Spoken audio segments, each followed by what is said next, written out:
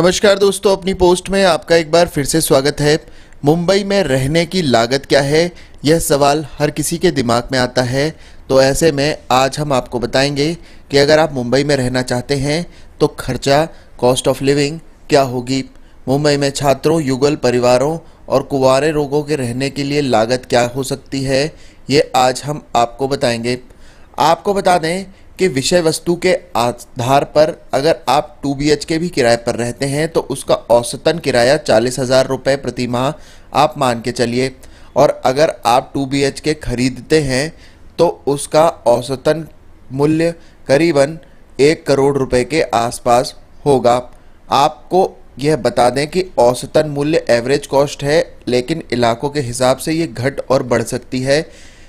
उदाहरण के तौर पर अगर आप कोलाबा में टू बी के खरीदने जाएँगे तो यह दो करोड़ भी हो सकता है।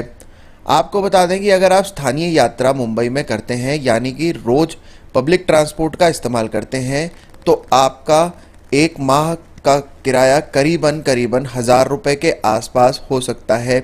इसके अलावा बिजली का बिल, पानी का बिल और मेंटेनेंस कॉस्ट अगर मिलाई जाए तो यह भी करीबन करीबन पाँच से छः हज़ार रुपये हो सकती है। अगर आपके छोटे बच्चे हैं तो आप उनको स्कूल में भी डालेंगे। उसका खर्चा भी आपको वहन करना होगा।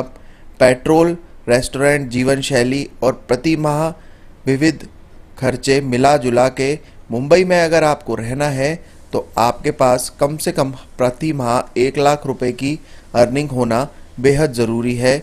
अगर आपके पास खुद का मकान नहीं है तो क्योंकि मुंबई हमेशा से ही एक महँगी सिटी रहा है और यहाँ पर गुजर बसर करने के लिए और अच्छा लाइफस्टाइल जीने के लिए आपकी अर्निंग इतनी तो होनी ही चाहिए।